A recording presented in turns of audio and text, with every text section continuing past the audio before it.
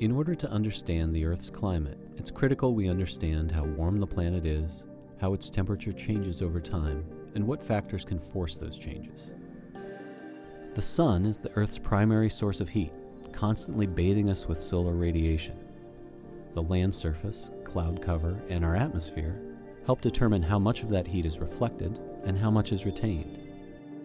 How that changes over time is really critical because in a climate system that's in equilibrium, uh, should, those two should really balance. And if they do, then the temperatures will remain relatively constant with time.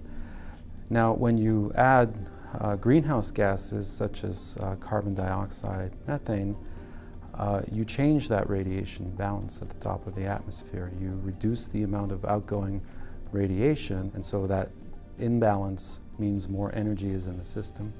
Part of it goes into the ocean, as, as it's stored in the ocean, and, and part of it goes into actually warming the Earth. One of NASA's most important tools for measuring that heat is an instrument on board the Aqua, Terra, TRMM, and NPP satellites called CERES, Clouds and the Earth's Radiant Energy System.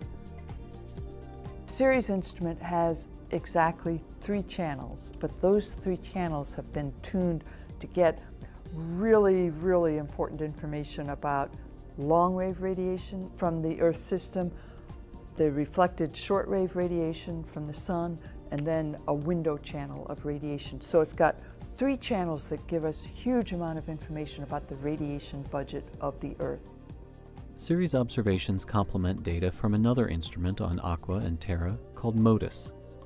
MODIS has a smaller footprint, but much higher resolution to its data illuminating how the energy budget is affected by clouds, dust particles, oceans, and land cover. That energy budget can also be influenced by natural events, such as the La Nina and El Nino weather patterns, the amount of ice and snow covering the Earth, and events that impact the Earth's atmosphere, like volcanoes. Researchers use CERES data and similar data sets from the past to establish a long-term trend that encompasses all those factors and the natural variation of the Earth's radiation budget.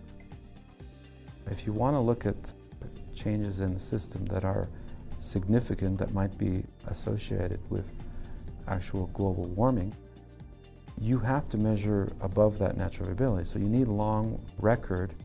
The CERES instruments and their predecessors have been taking the Earth's temperature for almost 30 years, and this data can be used in conjunction with other measurements of the Earth's vital signs.